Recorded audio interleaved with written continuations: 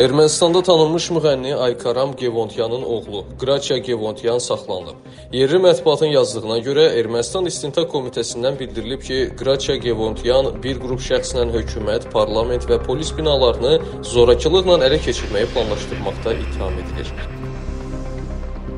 Onun 26 may mitinqi zamanı bu hərəkətləri etmək niyyətində olduğu vurğulanıb.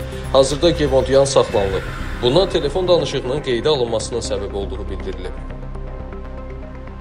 Məlumatda o da qeyd olunur ki, Gevondyan müxalif parlament fraksiyasının nümayəndələrindən birinə yaxındır. İstintaq Komitəsinin yaydığı bütün video kadrlarda Gevondyanın sabiq prezident Robert Köçəryanın oğlu deputat Levon Köçəryanın yanında olduğu görünür.